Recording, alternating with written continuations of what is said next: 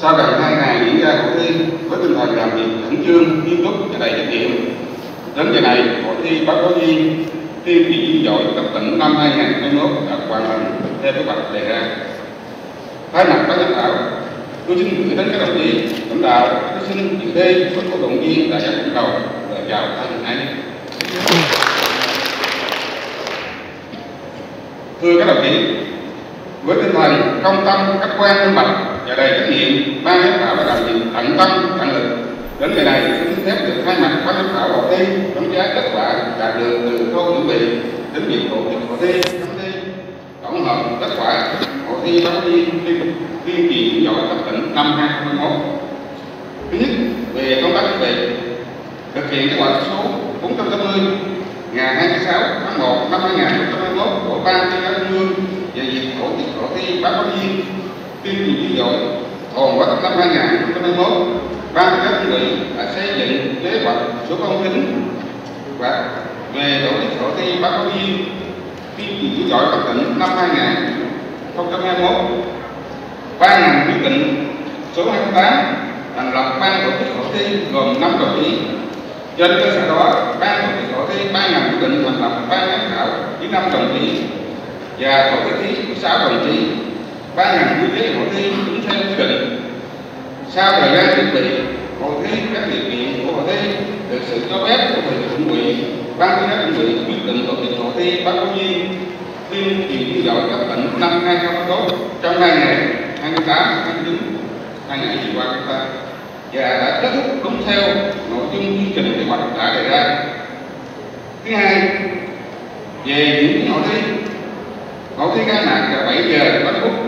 sáng ngày 8 tháng 10 năm 2021 với sự tham dự của đồng chí bí thư tỉnh ủy, thường trực ủy ban tỉnh, lãnh đạo các ban trong việc tỉnh ủy, sự có mặt của 22 thí sinh và gần 150 cổ động viên ở hội trường tỉnh ủy và tám điểm cầu cấp quyền. Phần khai mạc ngắn gọn nhưng hết sức trang trọng buổi lễ là được ấn tượng tốt với đại biểu thí sinh và cổ động viên thật sự là đồng ngày hội của lực lượng báo cáo viên thiền truyền viên trong tỉnh hội trường trang trí đẹp âm thanh ánh sáng đảm bảo quán tác đã được trong thấy tốt cho người nghe và người dự thi tham gia hội thi có hai mươi thí sinh đã xuất sắc vượt qua vòng thi cấp huyện và cấp đảng ủy khối các cơ quan và dân tỉnh đảng ủy quân tỉnh, đặc biệt đảng ủy công an đã tỉnh đã cử hai thí sinh góp mặt cho hội thi. Trong hai mươi thí sinh có tám nam 14 nữ, tuổi đời cao nhất là 47 tuổi tuổi đời thấp nhất là 24 tuổi. Tuổi nghề cao nhất là 5 năm, thấp nhất là 1 năm. Đặc biệt có 6 tuyên truyền viên 16 bác cáo viên, một thí sinh có trình độ thạc sĩ, hai bốn thí sinh có trình độ đại học, hai thí sinh có trình độ cao cấp cái lĩnh chính trị, chín thí sinh có trình độ trung cấp cái lĩnh chính trị thì mười thí sinh có trình độ sơ cấp cái lĩnh chính trị. Tham gia cuộc thi lần này. Thứ ba, về kết quả đạt được thứ nhất, về về ưu điểm về phần soạn đề cương. Trong tổng số 22 đề cương dự thi gửi cho ban tổ chức ban giám khảo hầu hết các thí sinh đều có bước chuẩn bị công phu kỹ lưỡng chú đáo đạt yêu cầu bố cục đề cương đầy đủ, rõ ràng chặt chẽ dân phong trong sáng, hình thức trình bày sạch đẹp, đúng quy định, nội dung trình bày sâu sắc có nhiều đề cương liên hệ thực tiễn rất sát. Rất hay. Rút ra ý nghĩa bài học kinh nghiệm thực tiễn sâu sắc. Có tính định hướng tốt. Đặc biệt, có rất nhiều đề cương sưu tầm hình ảnh minh họa hợp lý. Đẹp. Làm cho đề cương thêm sinh động để hấp dẫn có với người xem. Các thí sinh lựa chọn đề bài những thi rất đa dạng, phong phú. Tập trung vào những điểm mới nổi bật trong văn kiện đại học đảng các cấp, nhất là văn kiện nghị quyết đại hội 13 đảng nghị quyết đại hội lần 14 của đảng bộ tỉnh hậu giang, nhiệm kỳ 2020 2025 như chủ đề nghị quyết đại hội, nội dung cơ bản, đột phá chiến lược và phát triển phát triển đất nước giai đoạn 2021 2030 đến năm 2045 vận dụng 6 nhiệm vụ trọng tâm chiến lược phát triển kinh tế xã hội 10 năm năm 2021 năm 2030 trong giai kỳ đại hội 13 và thực tiễn xây dựng và phát huy nguồn lực con người Việt Nam trong thời đại mới, sức mạnh đại đoàn kết toàn dân tộc, một số điểm mới về công tác cán bộ, về giáo dục và đào tạo, nâng cao chất lượng nguồn nhân lực, phát triển con người, nhận thức mới, tư duy mới về quốc phòng và an ninh, bảo đảm an ninh an toàn không gian mạng, bảo vệ vững chắc chủ quyền biển đảo Việt Nam, nâng cao chất lượng giáo dục, chất lượng nguồn nhân lực trong cơ quan nhà nước góp phần thực hiện nghị quyết đại hội đảng bộ tỉnh Hậu Giang lần thứ 14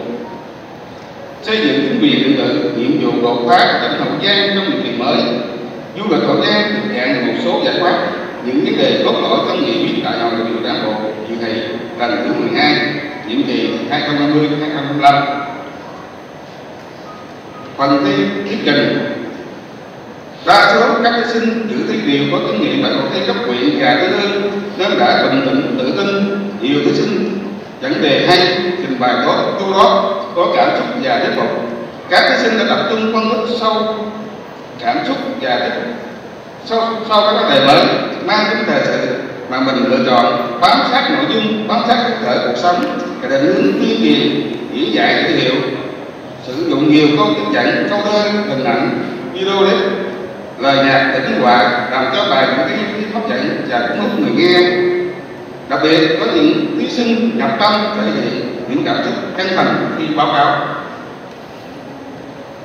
Nhiều thí sinh đã thuyết phục được người nghe bằng sự nắm bắt sâu sắc của đề, được trình bày cái độ bình tĩnh, tự tin phong cách diễn kệ phát âm rõ ràng, hoặc là đầy tính chuyên nghiệp.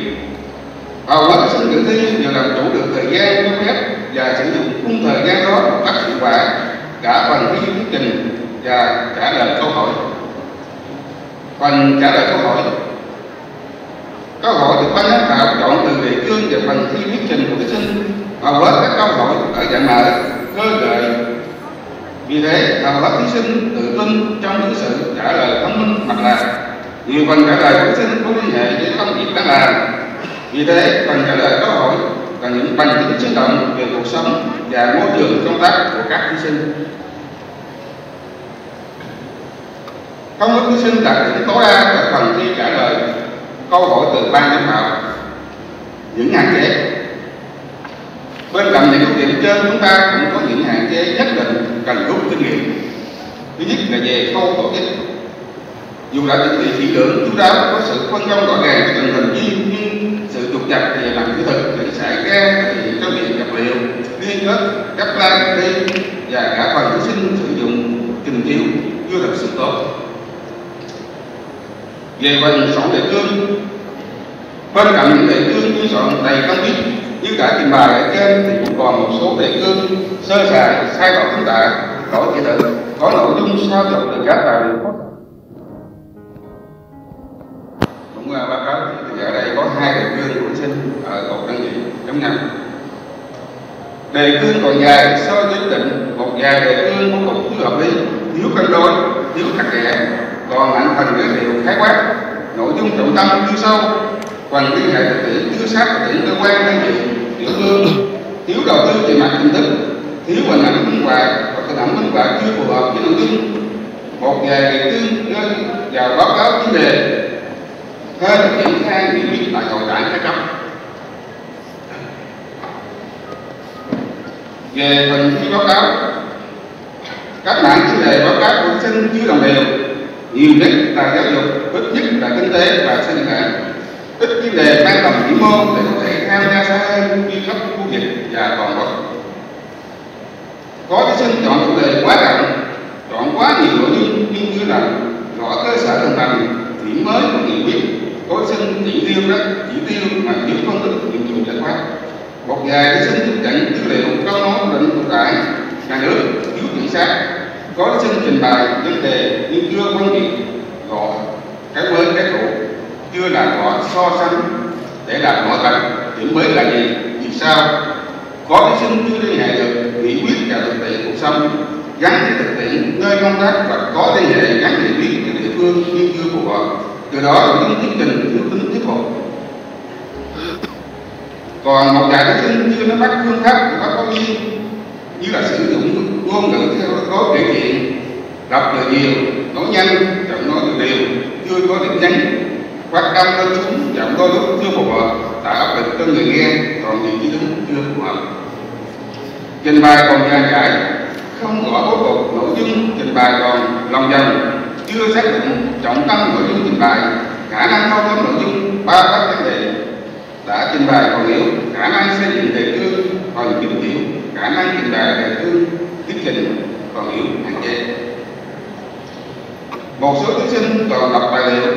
quá bám vào phần đề cương gai tìm hiểu đã soạn, hoặc học thuộc lòng. Một vài thí sinh còn lúng túng, thiếu bình tĩnh và tự tin, chưa bao quát làm chủ sân khấu, chưa tương tác tốt với đối tượng thiếu việt thiếu cân đối giữa thời gian và nội dung, chưa tận dụng thật tốt quỹ thời gian của thi mà ban tổ chức dành cho mình.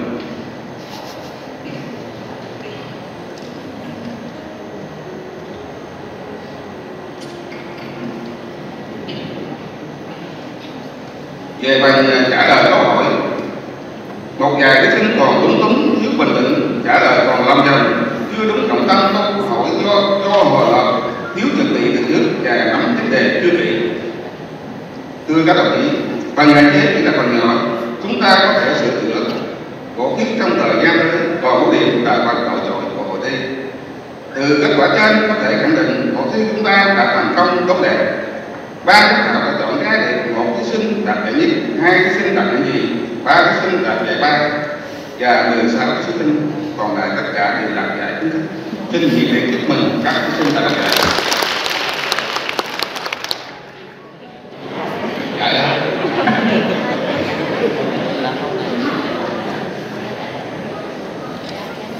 thành công của thi hôm nay không phải là những giải thưởng mà là dịp để các thí sinh học tập trao đổi, giao lưu rút kinh nghiệm lẫn nhau nhằm tạo sự chuyển biến mạnh mẽ trong nhận thức trí vai trò tầm quan trọng của công tác phát huy tuyên truyền miệng trong tình hình mới. Đây là đội hình tuyên truyền hiệu quả nhất mà không cần tuyên truyền nào thay thế được dù cho thế giới đạt được vào cuộc cách mạng công nghiệp 4.0 kết quả này sẽ là hành trang cho mọi chúng ta tiếp tục sự nghiệp mà đảng giao phó nhất là trong bối cảnh quốc tế và trong nước hiện nay. Mọi giáo viên truyền viên phải là một chiến sĩ kiên cường, bản lĩnh, dũng cảm và đầy trách nhiệm trên mặt trận tôi tin tưởng rằng các đồng chí sẽ làm được điều đó. Xin chúc sức khỏe các đồng chí. Xin trân trọng cảm ơn